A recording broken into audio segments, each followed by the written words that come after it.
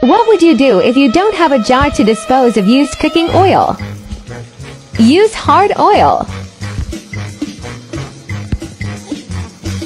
Just add a scoop of hard oil in hot oil and stir. Just wait for it. Remove the solidified oil from the pot. Oh, so satisfying. Straight to the trash. Cleanup is so easy with hard oil.